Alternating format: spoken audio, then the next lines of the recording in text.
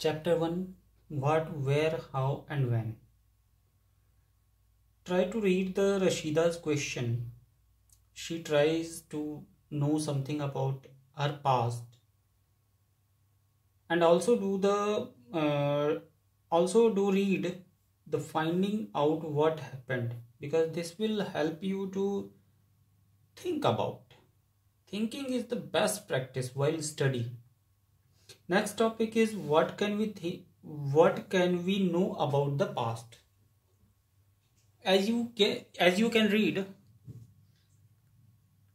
we can know about the past like eat, eating habits cloth wearing patterns housing patterns of different category of peoples like hunters herders farmers rulers merchants etc and uh, we can also know about uh, children's what they what the games they used to play stories they used to heard plays they used to saw songs they used to sing next topic is where did people live?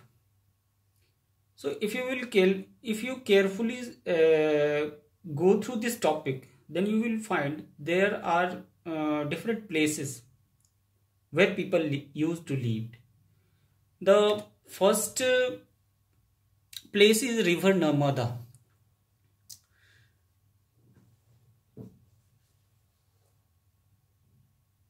Near the banks of river narmada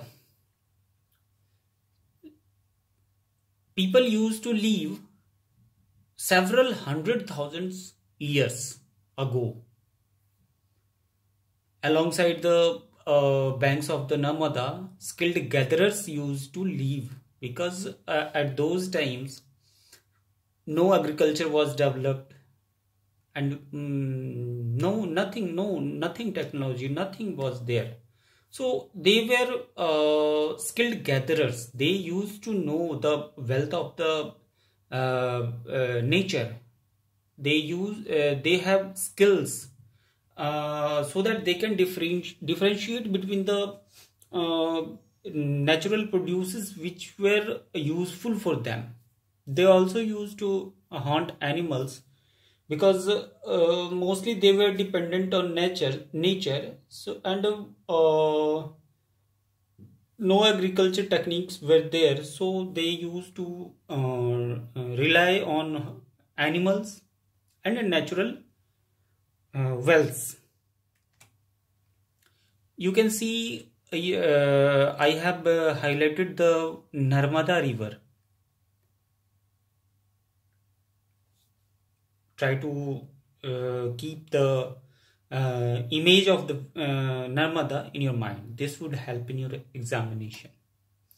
Next is Sulaiman and Karthar hills. Try first try to see where it is located. It is located northwest of India.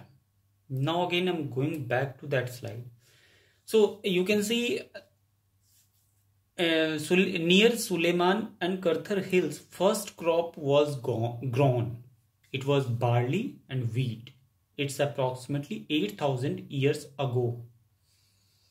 People's living uh, here used to reared animals I mean, they started rearing animals and uh, also started living together in form of villages. Next is Garo Hills and Vindhyas. Uh, you try to locate those mm, location these locations on map and try to remember this because this would help a lot now I'm coming back to this. Uh, Garo, near Garo Hills and Vindhyas, first agriculture were developed. And rice, rice was first grown near Garo Hills and Vindhyas. River Indus and its tributaries. Now see the map of, I have indicated Indus River. And uh, now cities first for i mean city was first developed near river indus and tributaries the ganga and its tributary 2500 years ago, cities flourished near the bank, banks of the Ganga. South of the Ganga, uh, try to see the map. The, you can see the Ganga is flowing. And south of Ganga was termed as Magad. Uh, now it is located in uh, Bihar. It is uh, kingdoms were set up con controlling other parts of the countries as well. Uh, so you can see the capital, capitals, uh, big cities were developed at the banks of Ganga.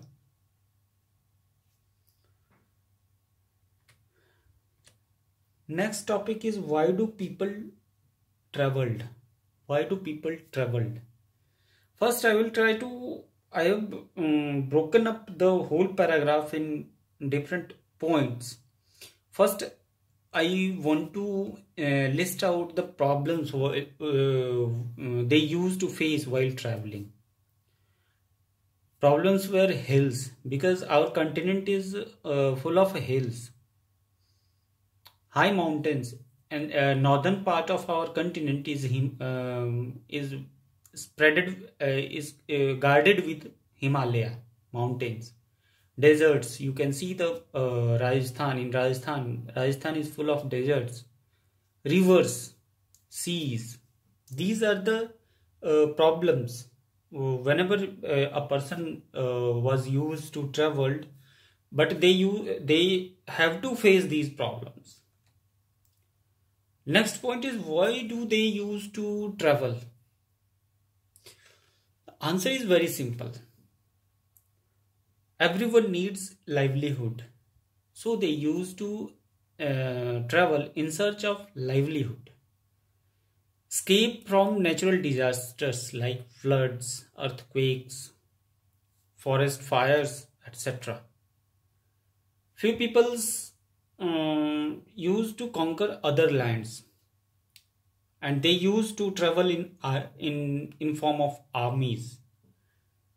Few people used to do trades. Like if i have uh, rice then i would go i will travel uh, to somewhere where i could buy salt by giving rice. So the merchants used to travel in caravan there were religious teachers as well they uh, used to walk from village to village, town to town, and uh, they used to stop peoples to advise or spread a spirit. And finally, adventure. Few people used to travel to discover new places, new and exciting places. And all these um, lead to the sharing of ideas between people. They also shared their cultural traditions as well. Now next come uh, next topic is names of land. We, our country have two names, India and Bharat. And the India is used and the India is derived from Indus. Indus river you can you have you have uh, you might remember the Indus. Indus river was uh, flowing in northwest of the continent. India comes from Indus and the Indus is termed as uh, Sindhu in Sanskrit. Iranian and Greeks who came about to 500 years ago was very familiar with the Indus and they used to call it as Hindus or Indos. The second name Bharat was used to name the people living in the northwest of our continent. They are the uh, Bharat is also uh, named mentioned in Rig Veda and the Rig Veda is uh, a composition in Sanskrit and it is 3500 years old. Next topic is finding about the past. Finding about the past is very interesting and uh, adventurous work. And uh, finding uh, about the past we find different things about past in many ways. Few of them we will try to discuss. First is books or manuscripts. Manuscript is written by hand although books were also written by hand in earlier earlier uh, phases when the paper was not uh, developed or mechanical writing printing technology was not, not developed then books were also written by hand. And these books or manuscripts were written on palm palm tree palm leaf or bark or, bark of birch. Birch is found in himalaya. But as you can see these uh, books or manuscripts were written on uh, a leaf and uh, bark.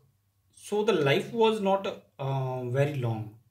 And hence these uh, manuscripts were uh, destroyed um, or eaten by insects but few of or many of them have survived those were preserved in temples and monasteries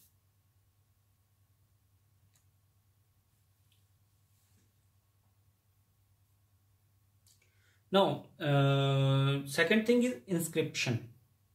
Inscription is something written by hand on hard surfaces like stone, metal or clay. Uh, inscriptions were uh, written by artisans. And uh, these were or these were the orders or the glory of the king that those thing those were inscribed on hard surfaces. And or it may be orders of the king victories of battle and important events and uh, since these uh, were written on stone either stone metal or clay uh, so they survived for a long period. And it is easy to um, know about them. Now now uh, finding about the past uh, oh sorry. Archaeologists. Archaeologists archaeologists are person studying inscriptions manuscripts and other historical evidences are called archaeologists. Now the term historical evidences we need to focus on it. Here we go. Historical evidences. What are historical evidences? Remains of buildings. How the uh, remains of buildings paintings tools weapons pots pans ornaments coins bones plants these are historical evidences and uh, scholars use to try to uh, connect things so that uh, we can know about past for example, remaining of buildings shows how they used to live. Paintings. Uh, by seeing, uh, studying paintings, we know the cultural practices they used to uh, do. Tools. Tools, uh, as you know, tools is nothing but uh, uh, anything that helps our um, helps to do something with ease. Anything with ease. Weapons. Weapon mostly they used uh, for uh, hunting and farming. Pots, pans, ornaments, coins, these were the, uh, you can understand. Bones. Bones, uh, uh, we, uh, whenever finds an bones of animals, birds, fish, etc. near the remains of buildings, they used to guess what the people ate. Plants. Plant uh, by the way plant never survive for a long period. But if that is burnt by mistake then they used to survive for a long period in the form of charcoal. And it can be um, studied it can uh, we can know the age of that charcoal. Now another question is one past or many? Answer is many.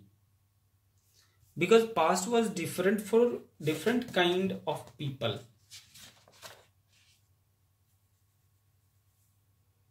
For example, the lives of herders or farmers were different from those of kings and queens. The lives of merchants were also different from the craftsperson and so on. Even today, uh, we can see different customs for food, for uh, wearing clothes, etc. For example, if you if we go to Andaman Nicobar, we can see uh, today as well people used to gather their food produces by hunting and gathering. Now, uh, another point we need to discuss. We know we know about the kings because they they kept records of battle and their victories. However ordinary people do not kept records. So we have limited sources about ordinary peoples. What do dates means Dates are counted from, counted from the birth of Jesus Christ, founder of Christianity. And the dates counted backward has a prefix of BC, before Christ. Now, uh, don't get confused a lot uh, with this. I have uh, just listed about listed uh, it in a tabular form after Christ. You may, if you if you find a date like 2018 it means after christ. If there is a prefix of bc then think that it is uh, 700 years ago from the date of uh, jesus christ birth. You can also consider like minus 700 years ago. And ad ad stands for anno domini and uh, ad means uh, you can resemble something like after Christ. And BC, BC stands for before common era and it also um, it is also similar to before Christ. Sometimes we uh, also use um, BP. BP means before present. Now try to read the elsewhere part and you can see I have written something about it. Inscriptions have two major parts, scripts and language. Reading, uh, reading inscription is termed as decipher, decipherment and you can also call in simple words like uh, decoding. Friends, if you liked our uh, liked my video, then please like it so that I can I can um, understand that I'm uh, doing a good job. And uh, please don't forget to subscribe my channel so that uh, you will be um, informed about my channel. Thank you so much. Have a nice and great day. Thank you so much